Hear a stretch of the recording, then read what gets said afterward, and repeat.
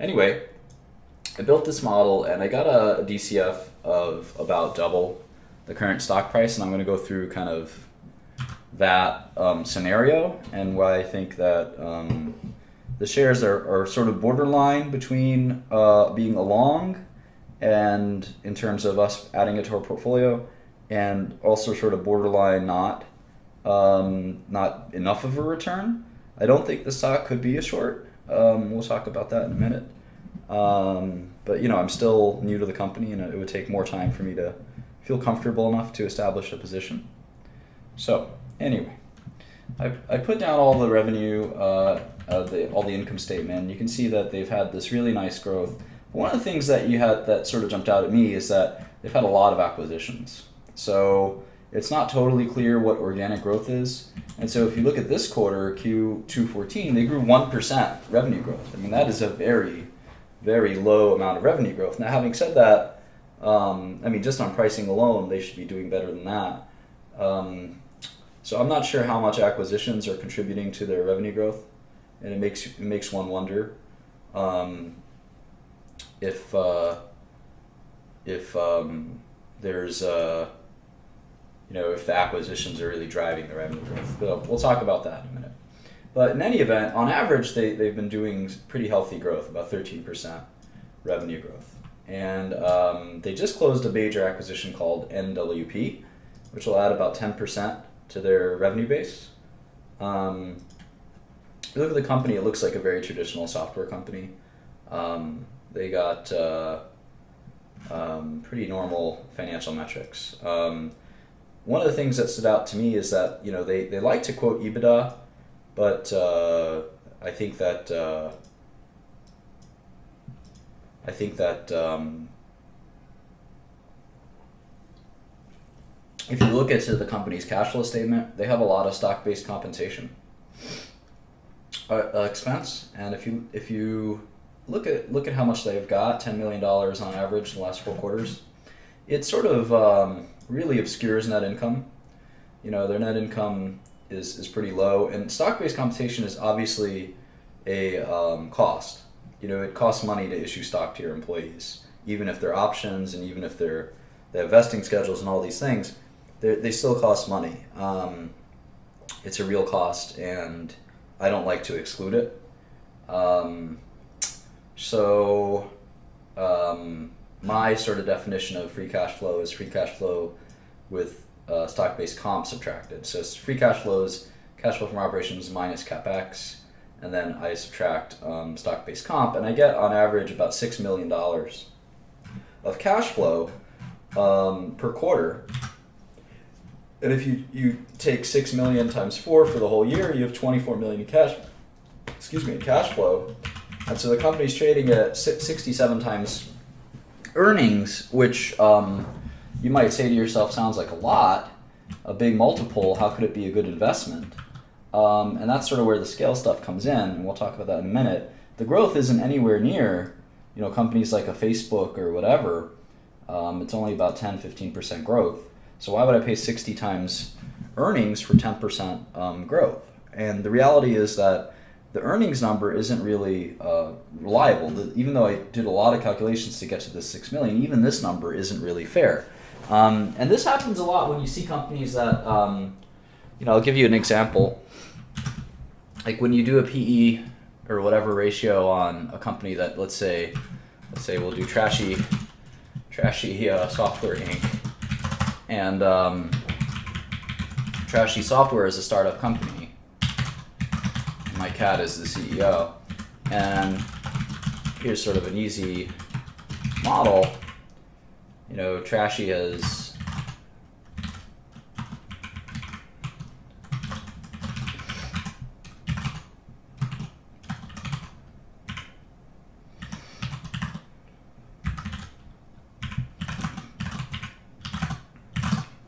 you know, it, this could be a really valuable business. Uh, but if you try to use a DCF or a, I'm sorry, a PE ratio, you're, you're going to have negative numbers, and you really have to take a scale year.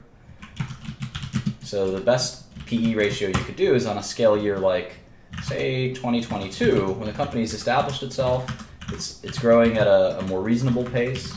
It's not. Um, it's not. Uh, it's sort of in a permanent state of, of reasonable margins and reasonable long-term cash flow.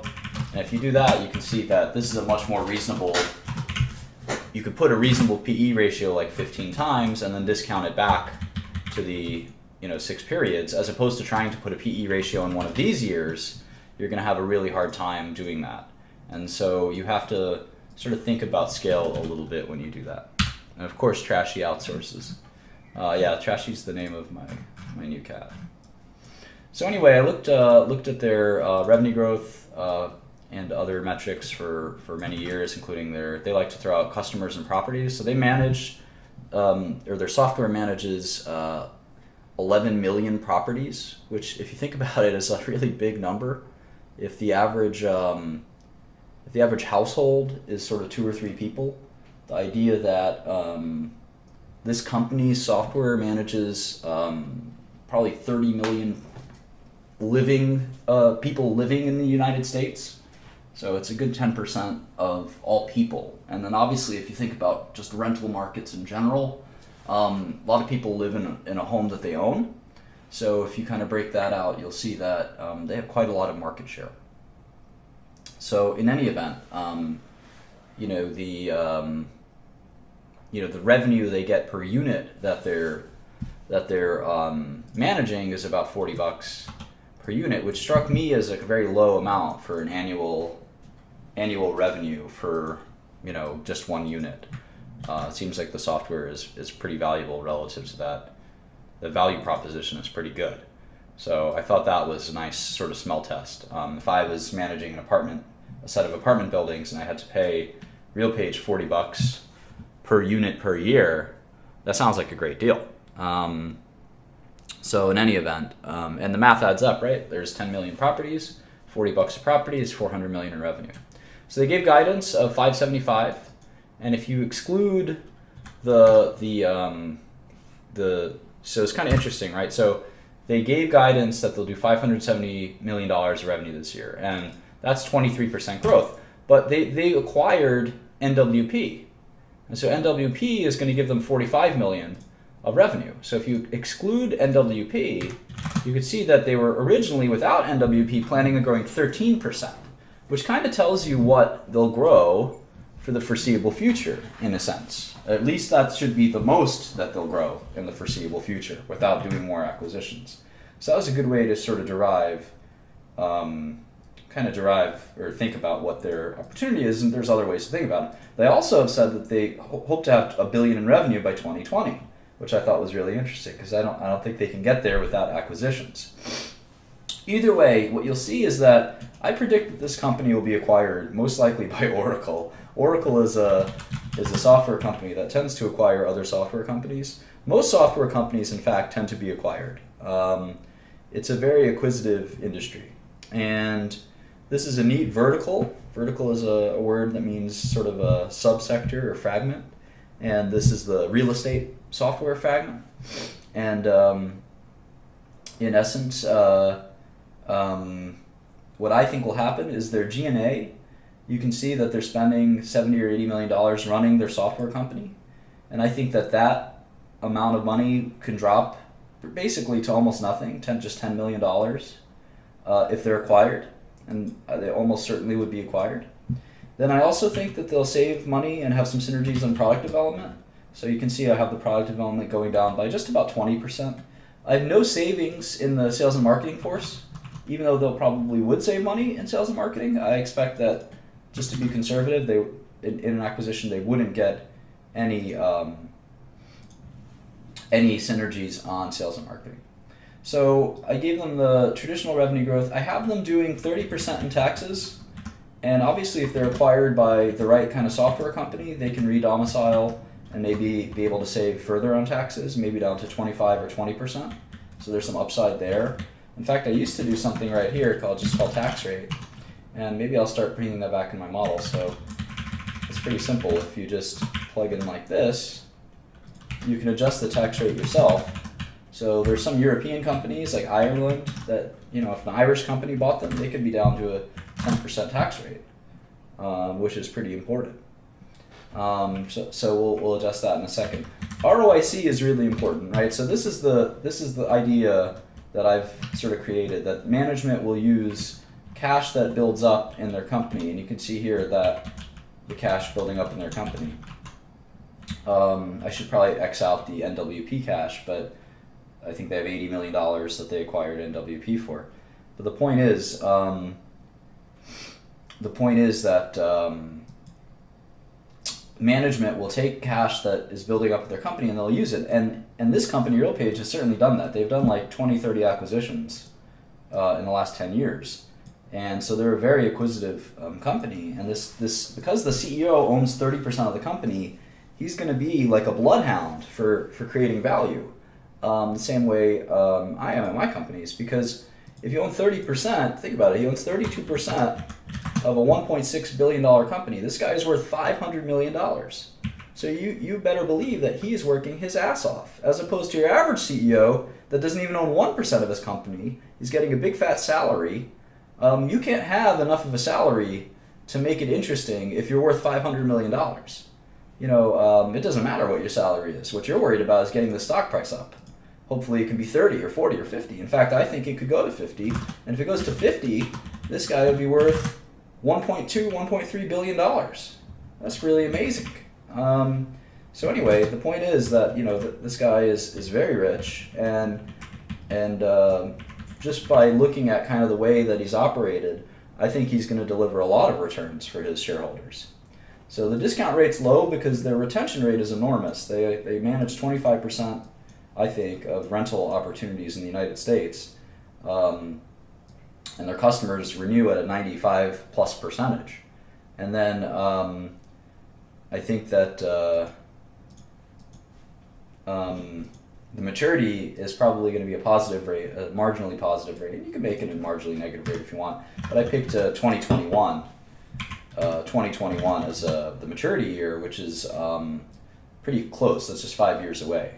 So a small positive rate is pretty reasonable, I think. And depending on the tax rate, if they stay um, uh, in the U.S. or their acquirer doesn't uh, rationalize the tax structure, um, you know, you can sort of play with that. Um, the ROIC doesn't shift things a ton. It adds like five bucks a share, but I think that makes sense. The discount rate is low, and so I get forty-one dollars a share um, for the stock, and right now it's at twenty-two, so that's basically a double. That's usually good enough for me. Um, so that's sort of the way I look at it. And again, you would not be able to make this work if you assume that they just had their G&A spending, uh, you know, the same forever, because it doesn't make sense that this company would exist just to be a software company just for the real estate market. Uh, they should be bought by a big software company like SAP or Oracle, and my guess is that'll that'll be what happens. So it doesn't really matter why I made maturity so early. Um, you know, I could I could have tried to forecast cash flow more accurately for the next sort of ten periods, but it wouldn't have made a difference. Um, in fact, I'm being conservative by sort of ending their growth period. This is a smart management team that will probably keep growing. Um, so my guess is this is sort of what will happen. They're subscale with their margins for a reason, I think it's you know they they're, they're focused on growth. Um, and uh, a bigger company or private equity could chop at least $100 million out of their um, cost structure. So I think of the company as a $200 million net income company over the long term. They've actually said that when they hit a billion in revenue, they expect 300 million in EBITDA. So it's roughly what the company is telling you they, they think they'll do. Um, you know, from my perspective, this is a this is an attractive market, um, and it sounds like their their software provides a lot of value add given their customers just pay 40 bucks per unit to manage really valuable properties. So that's basically where, where I'm at. Um, yeah, so the tax rate thing is that I assume they'll be acquired by a company that manages their taxes better. This is a company based in Texas.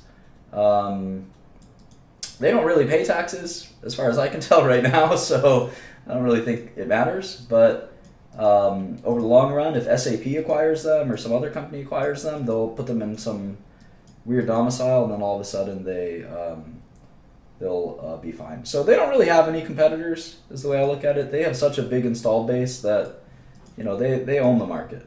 is the way I look at it. And um, R and D will grow, but and I have it growing a, a pretty healthy rate. But um, R and D isn't really; it's just product maintenance in essence. So anyway, that's sort of the way I looked at this model. I think most CEOs that own 30% of their company, this is the only way for them to monetize. Like they want to get rich, so they'd love to sell the company. Um, you know, that's sort of like a key thing for these guys. So anyway, let's let's look at some of some of the models that people made. So that was pretty fast. So in half an hour, I I got through all of that. So this is just from Louis Louis de Maria. Louis de Maria. Uh, he makes a thing called recap, which is nothing, uh, not my preferred style. In fact, I found this revenue breakdown hidden away in an appendix that shows that they um, 30% property management, 30% resident services, um, 25% leasing and marketing, and 10% asset optimization. I think they could hugely increase their ARPU. Um, hugely increase their ARPU. And this is not uncommon, by the way, in software as a service. When you have a subscription model, you have a, a low uh, ARPU because what you really want is subscribers. And then eventually you can turn on the services and make them um, premium. And uh, Netflix is a good example. Um, I want to short Netflix, and I'll talk to you guys about why. Uh, and maybe we'll take an investment committee vote. It's Steve Wynn. It's not the Steve Wynn. It's a different Steve Wynn. Um, Um, so anyway, the um, I think they can really um, grow their ARPU quite a bit, um, and get to that um, get to their billion dollar forecast pretty easily. In which case, the stock could be even worth more than forty bucks a share. So anyway, yeah, I mean these guys don't have inflated subscribers; they just got their property management. Um, might be inflated. Who knows? Who knows? Anyway, let's go to Louis Demaria's model. So he doesn't doesn't use my format, even though it's pretty important. And for instance, if I didn't know that their software does so many different things for their client, I'd be a little less excited about the company. But they're actually pretty diverse um, within their service offering, and that's because they've done so many acquisitions. I think they, they really have broadened out um, uh, what they're trying to do. You can just put shares in millions. I don't see why you would put it in thousands. So um, that doesn't make a lot of sense. And this should be uh, right adjusted.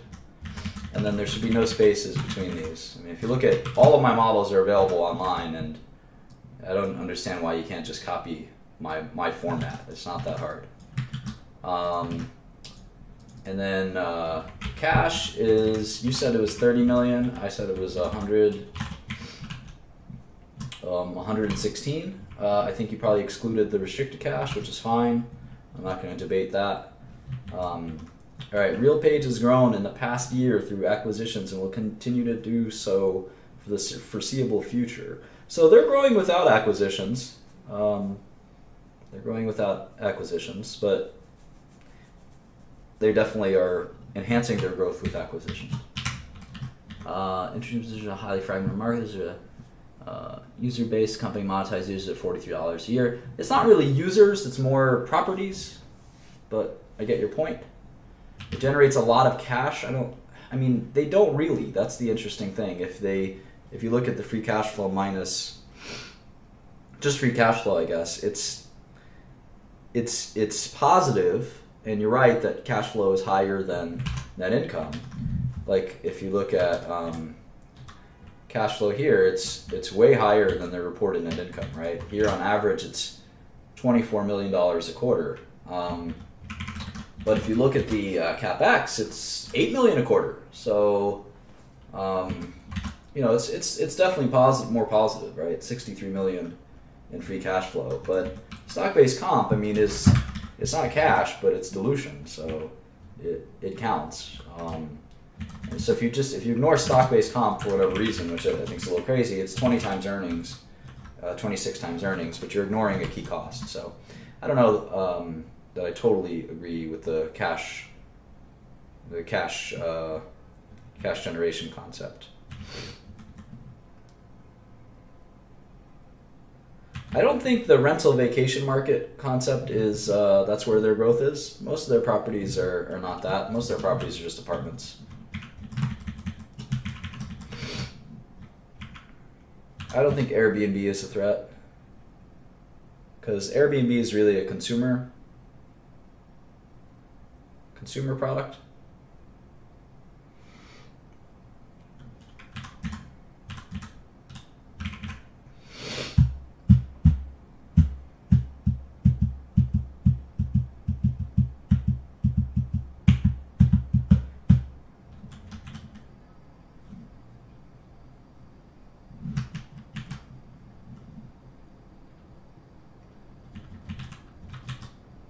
All right.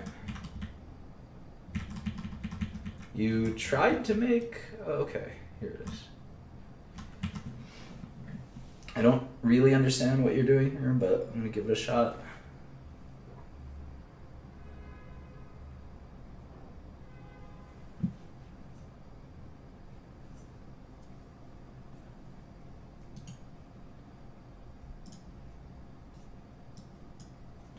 I don't know where you got this information from. It'd be nice if you quoted quoted where you got it from, because otherwise you uh, um, it's too hard to know where you got that information from.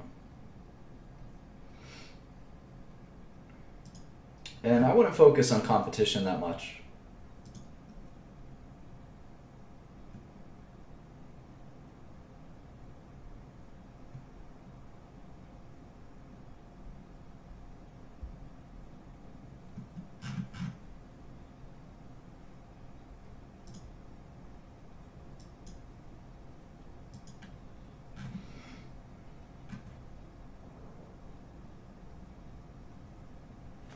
So it'd be good to know where you got this ARPU number, but obviously, you know, there's there's a potential, definitely a potential for increased ARPU.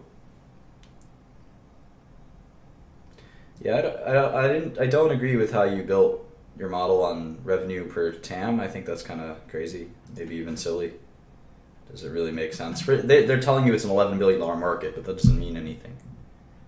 Um, really doesn't mean anything. I don't know why you're bolding gross profit, but God bless you.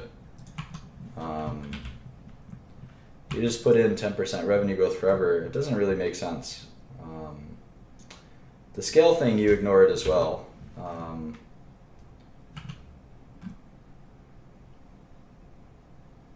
so your EBIT, like it doesn't, this doesn't make any sense really, this model, because you, you, you have them I mean, think about it. You have them going from a $500 million company to a $2 billion company, and their margins don't go up. That doesn't make any sense. The whole point of growing your revenue is to have high, even higher margins as well. So that's a really um, margin expansion is just sort of basic, basic idea. Do you even margin expansion expand grow? All right, so I give you a D. Um, this margin expansion is pretty obvious. You're gonna have a lot higher margins when you're uh, two billion dollars in revenue than than uh, a, a five hundred million dollar in revenue company. That's that uh, is pretty obvious. Um, uh, let's see. Net present value. You don't have a maturity. You don't have a perpetuity terminal value, which uh, I don't know why you think the company ends in 2030. Like, do you think is there is that the Mayan end of time? What happens in 2030? Aliens? Aliens are coming? Drones? Doesn't make any sense. You th- talk to the CEO and say, what do you think is going to happen in 2030? Do you th- still think people are going to be using your software? Obviously, obviously.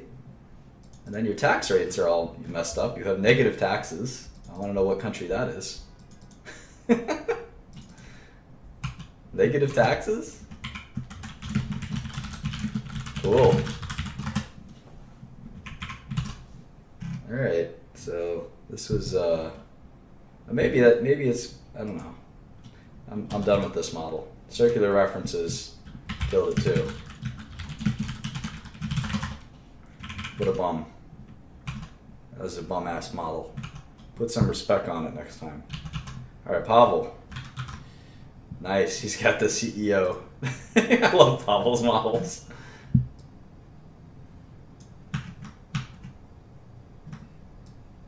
I'll try to uh, I'll try to upload the videos earlier. I'll, I'll do my best.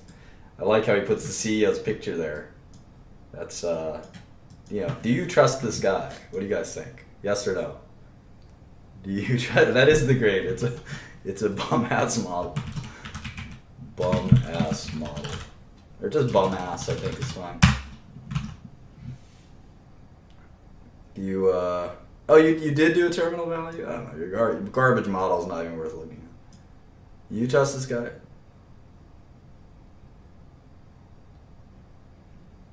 He, he looks very Texan, I will say that. Very Texan. There are some comments on Glassdoor that, that you know management doesn't know much about tech. That's not uncommon. Larry Ellison doesn't know shit about software.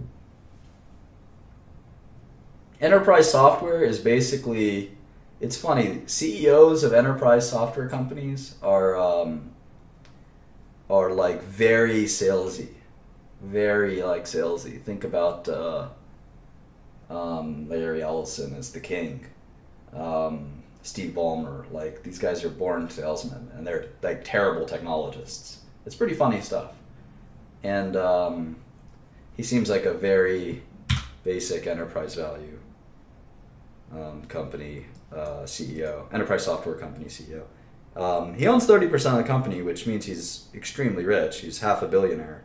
And um, he's going to take care of the company, I think. Anyway. This is nice. Uh, 32 acquisitions exactly. 46 million rental rental units.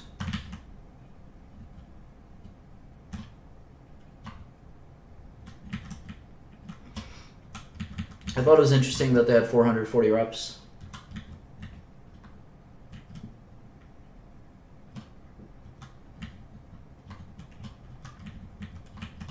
Like that you got the 32% thing down there.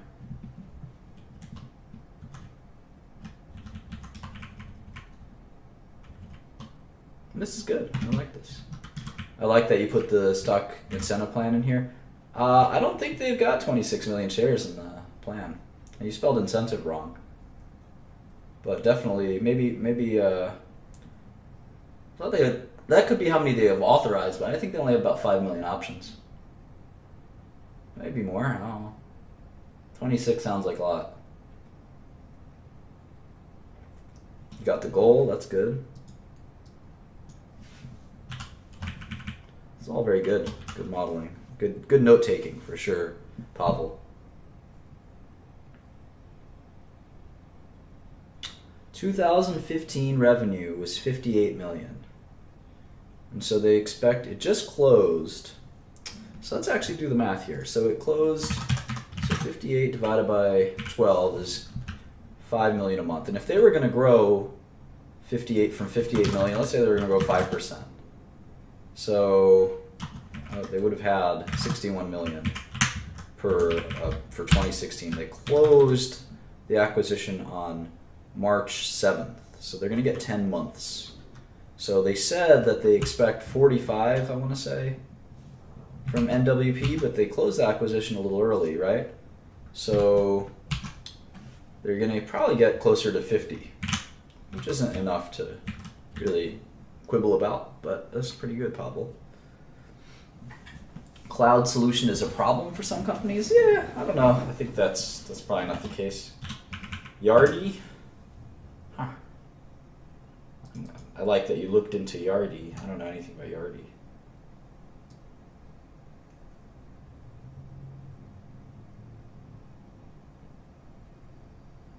Very nice, very nice. It's one of the better front pages I've seen. Beautiful. And look at the model. It's exactly it's exactly how I like it. I'll be right back. Um,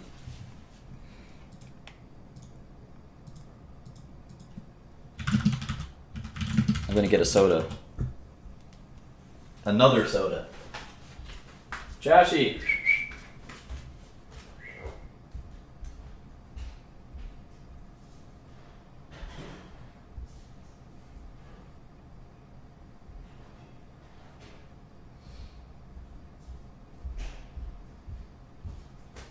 My cat is very shy, so. All right. Let's see here. Now the important stuff. It's weird. You bold gross profit, but you don't bold revenue. Revenue isn't more important. Come on. Don't don't bold too many things. The only thing I like to bold is revenue. I like this. Goal is one billion in revenue. I don't think so. Wow, Pavel. You got some got some respect. Put some respect on it. Only if they buy more companies. Uh, that's what I think. I think it's this is interesting. How do you get this? How do you get them three, then fifteen, then five, then one, then six? That's pretty weird. You have the maturity negative two. That's I'm not going to quibble over that. Six percent. Not going to quibble over that. This is weird though. They have 80 million shares outstanding.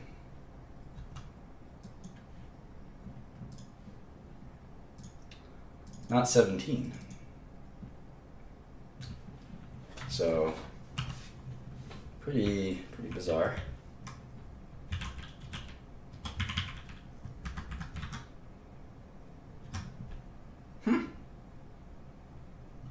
This is uh, Pavel.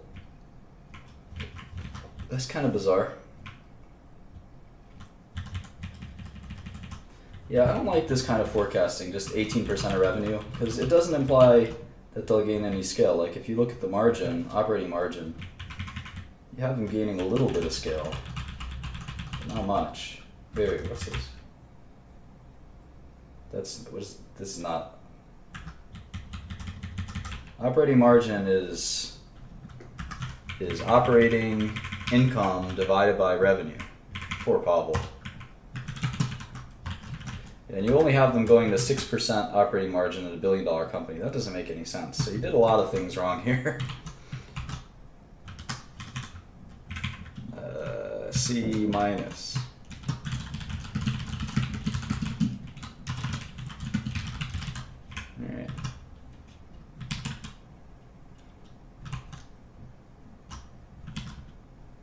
Some of this stuff is just silly. Like, you, you're telling me the stock is worth four dollars a share, basically, because you put in the wrong number, which is really embarrassing. The stock's worth four dollars a share. It's trading at twenty-one. Why isn't it the greatest short ever? Why aren't you begging me to short the stock, dumbass? I will say, if you guys come up with a really good stock pick, and you say, "Hey, Martin, I got a really good stock pick," um, here it is and it works and I make some money and the next time you come up with a really good stock pick and I say, all right, I'm going to put $5 million into it. And you say, that's good because you're going to double your money. It's going to go to 10 million. You're going to make 5 million. And as part of the deal, because I want stocks like this, and you gave me your first stock pick for free, and it was really good, this time I'm going to pay you 10%. That's 500 G's. This isn't a joke. This isn't a game. You're talking about you're talking about being a franchise player.